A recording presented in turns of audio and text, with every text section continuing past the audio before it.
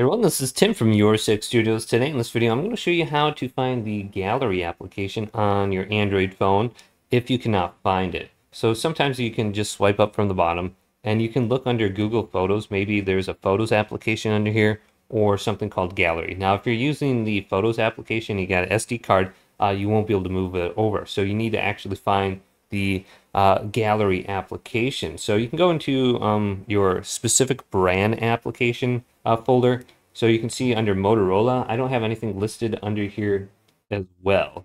So I did download galleries under here, and this will allow me to go ahead and move my photos. So just going over to the Google Play Store right here, and just type in gallery. So if we type in gallery, we can just simply get this. So here it is, gallery. Otherwise, you could try some other one like uh, gallery, photo gallery, and albums. This one might work too. Uh, this one's got 4.8 stars, or the one from Google works just as well. So it's a lot easier to use than just uh, photos, I think, because it gives you more options. So we can just open this one up now and get this on our phone and just give it all access to your photos. So accept the permission.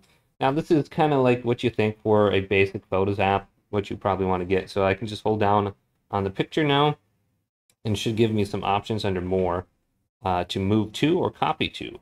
So let's go to move to, and then go to new album on the top. And when you go to new album, uh, you should be able to uh, allow the permission and you should be able to move it to uh, the new SD card. So you just go through all this and then uh, we can go to our SD card and we can check that out too. We go up to uh, my files. So let's go to files under here and we can open this up.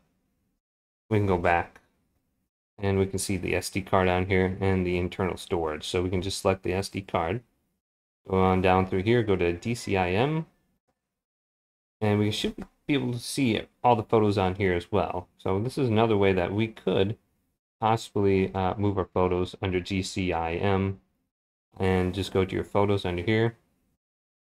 And you can try uh, holding them down go to the three little dots on the top. So let's hold it, hold down on here, just select some photos. If it gives us the option to move to. Then we have SD card or internal storage. So I don't know what I selected. It looks like two small videos or something. And then we can just find the location. Most of the time, if you want to get in the gallery app, just go to DCIM and then move here. And it should place it on uh, your SD card now. So Hopefully this video did indeed help you out. Did leave a big thumbs up and subscribe my channel down below.